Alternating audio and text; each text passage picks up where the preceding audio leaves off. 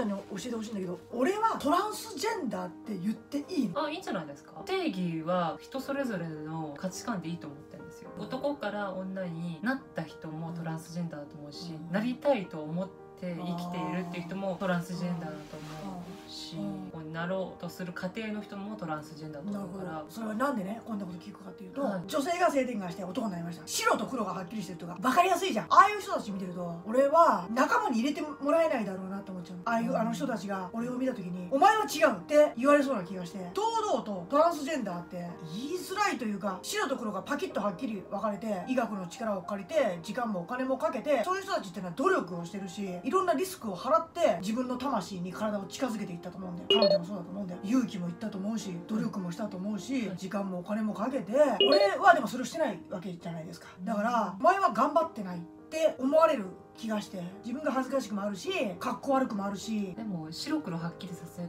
必要ってあんまりないのかなと思う。なんか白黒が全部が正解じゃないと思うんですよグレーゾーンで生きてる人も多分多いと思うし、うん。習慣の部分から発信するっていうのもすごい大切なんだと思います間から発信することで救われる人もいると思うんですよ。逆に諦めちゃってる人もいると思うんですよ。自分が白黒になれないっていう人も。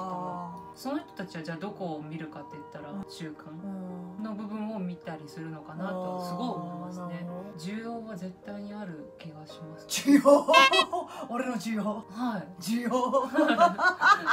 需要か。あくまで私の意見なんですけど、うん。体と心って別物だと思っちゃううんんですよ、中身がハイドさんだったら、体を改造とかなんかそういう完結してるかどうかっていうのはあんまり気にしないでもいいような気がしますけど。この動画はハイドチャンネルがお送りしました